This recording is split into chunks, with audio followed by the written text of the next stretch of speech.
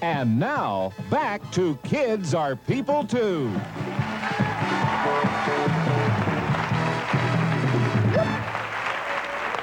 Yeah. Uh, you know, the, if a picture is worth a thousand words, to save time, here's a way to say a lot about our next guest. Look. Ah, isn't that? And take look. Sense of humor she has, yes. Very pen. Oh, that's a Band-Aid, I think, there. Yeah. Uh-huh. You know who this is? Don't we know? Ooh. A little bit of gasping here. My heart stopped a minute ago. Whew. Please welcome Brooke Shields. Yay.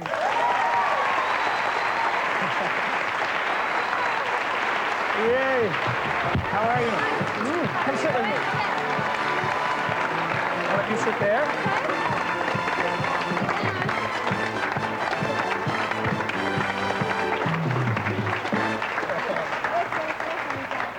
Quite an audience, yes? Yes, I was watching the show. What do you think when you get, uh, when backstage you're watching? Yes. What do you think when, when you look at all those baby pictures and stuff like that? Oh, I think it's fun. I think everybody enjoys looking at their baby pictures. I mean, Yeah, I guess I so. was like bald until I was really young. Those are your Yeah. Yes, well, I, I tend to, the ones that bother me are the ones where I was naked as a little child. you know? I get very embarrassed by those, you know? Um, Brooke, you know, like, people must say, Brooke Shields, I mean, she's so beautiful, she's a personality, she has everything. What do you say to that when people do that? Does it bother you? no, I mean, I, I'm flattered when people say that I have everything and that I'm so beautiful. I don't, I look at myself, I mean, I don't think, oh, God, you're so beautiful. I just try to be as natural and normal as I can. I don't, like, think of myself as really different or special. Yeah. But then people must be, like, uh, jealous of your movie career. I am. I have no movie career. I'll keep working. Um, what do you, how do you deal with the jealousy and stuff like that? What do you do? Well, I try to do my best at proving to my to the people that are jealous of me or to people that act differently to prove to them that I'm just as normal as they are. Because when if as long as they think that they're that they're just like you or, or they can really be your friend. I mean, I don't like people to think that I'm on a different, totally different level and that I can't talk to people or anything. So I just try to be as nice and prove to them that I'm just regular. What do you do about people who, uh, gee, I don't know how to say this, but they, they come up and they want to know you because you're Brooke Shields. You know what I mean? They're hanging out around you because you're famous or something. Well, I'm nice to them, but I, I will always sort of know that you can tell when a person is sort of just trying to get to know you because you're, say you have a certain name or something. But I just try to be as nice to them as I can, but I'll know that they won't be my closest friend. Yeah. Uh, one of the folks on our staff told me that you write poetry Yeah. and uh, gave me one of your poems, which I find. This one was written by you at age 10. I'm going to read it. But, uh, and it's, it's special because it's about your mother. I think I wrote about George Washington when I was 10. it's probably the dumbest poetry in the world. but, but anyway, can I, I'm going to read this. This is by Brooke Shields at 10. Valentine's Day. It was Valentine's Day?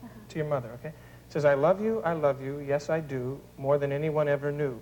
As much as we quarrel, as much as we fight, I love you the same all day and all night. I love you. I like that. um, I hope I did it justice when I read it. I don't, you know, but that's really kind of nice. Um, I, I can see your mother probably with tears welling up in her eyes when she first Whenever saw I give her something or make her something, she cries. Had you had a fight right before Thanksgiving No, or, or Valentine's Day, rather? no, I just, we don't fight a lot. I What do you fight about when you fight?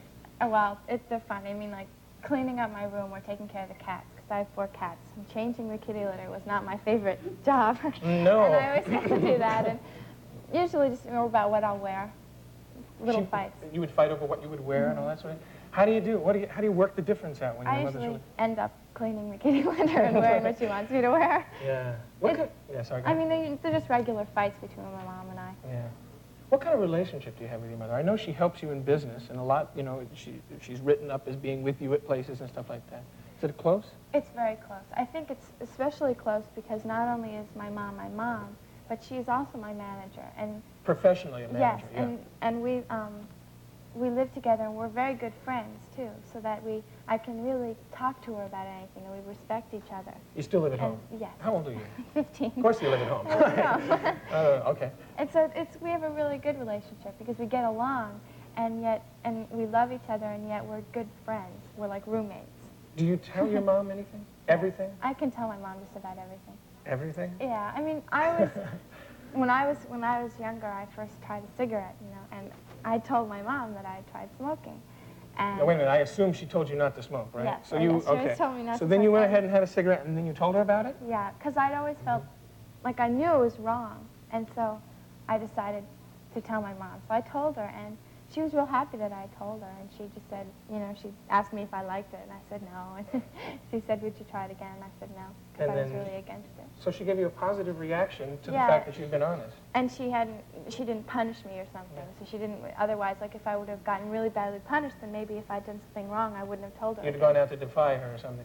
Uh, Was there ever a, a point where your mother, um, I don't know, because I would think you were very worldly with your career. Does she, does she ever turn to you and say, hey, Brooke, what do you think I should do? Like, Well, yeah, I mean, as I said before, we respect each other so that we, we get along with each other. And I help her with some certain problems. Like, say, I'll come to her with a problem of my own, and she'll discuss it with me, and we're very open with each other. And if she, she'll, if she ever had any problems of her own, she didn't feel well, or it was a bad day, or she would come to me. Or even about business, she likes to get my opinion as like a teenager yeah. to help her. As far as what career choices to make for uh-huh. you and that sort of thing. Now, I know you're still into poetry.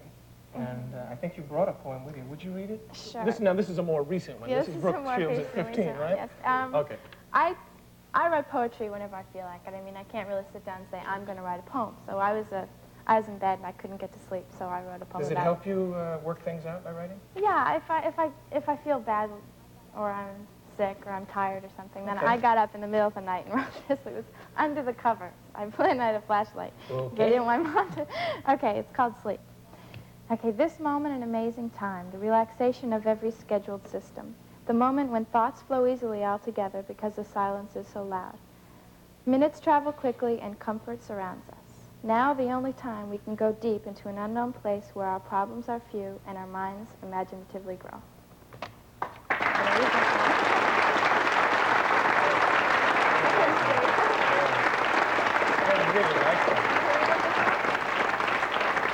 Um, so we can suspect that uh, Brooke Shields will keep writing poetry. Yeah, I hope Will you so. keep ri- doing films? Do you want to continue with your film definitely. career? I think you're a wonderful actress, and, and uh, each film is, is wonderful. Um, question, though. Do you want the uh, husband and children and the white picket fence? Do you want a family life also? Yes. I plan on having children, Do little you? babies, yeah. You want I think you're terrific. Brooke Shields, thanks for being with us. Thank you. Thank you. Did you enjoy it? We'll be back right after this, so stay with us. Kids are people too. Will return after these messages.